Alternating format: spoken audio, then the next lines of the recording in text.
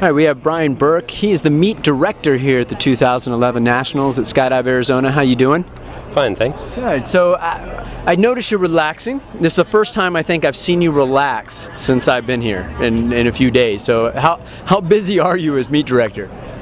I'm actually not that busy. I delegate most of the responsibilities, so right now I'm in a situation where as long as nothing goes wrong, I really don't have anything else to do today. Uh, maybe a little bit of talking at the briefing after sundown, but it's going really smoothly. How has this competition, has it changed in any way in, in like the way things are formatted or done? Uh, how, how has it changed since the last competitions? Uh, not a whole lot. Um, realistically, with enough good airplanes, pilots, and weather, anybody can run fairly efficiently.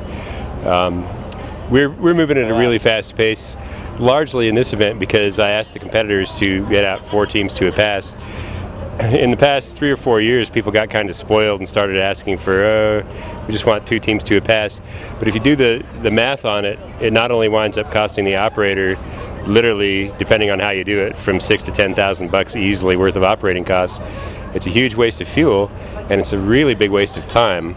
If we were doing two teams to a pass, we'd only be halfway through round five now. As it is, uh, we're halfway through round seven, and we'll finish round seven. The last team will take off for round seven at five o'clock. Um, almost 10 hours exactly after the first team took off this morning. Yeah. So we we have four teams getting out on a pass. We have four planes going pretty much simultaneously. Is that right? That's correct. Four teams, uh, four planes have been running continuously since 7 a.m. this morning. So we have 16 teams under canopy at the same time. Does, it seems like a logistical nightmare for canopy control, is it? No, only four teams are under canopy at the same time. The planes are coming in about four to five minutes apart. It doesn't make any sense to get any closer than that because then they just get in each other's way.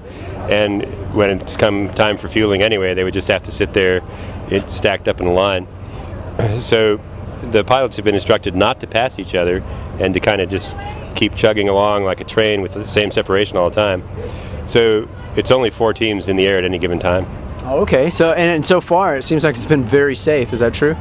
That is true. And in 2008, we didn't have a single ambulance ride at the Nationals, and I'm hoping that if the competitors can stay cool, we'll have the same result. There's really no reason for anybody to get hurt with modern parachuting gear.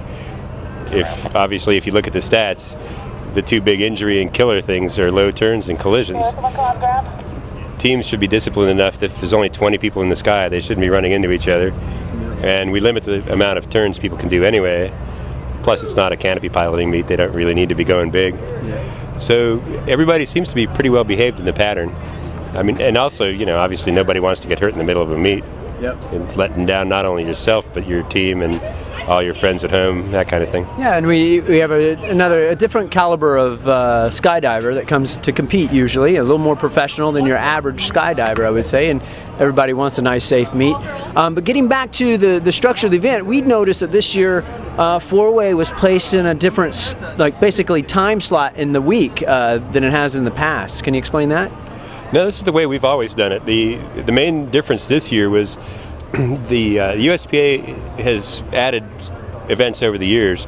It's become a really complex event. In the past, we were the only drop zone that ever did everything in one week time frame. Uh, nobody ever, ever else has even tried that. Um, this year, we broke out vertical formation skydiving and the style and accuracy. Style and accuracy has a lot of challenges because of its airspace issues. Basically, putting out one guy to a pass in style they have slow descent rates, that kind of thing. So we, we put that a little earlier along with the VFS just to get a couple things out of the way. The VFS was largely to allow crossover competition from the VFS to four-way or artistic events. Um, everything else, though, is going the same way we always have.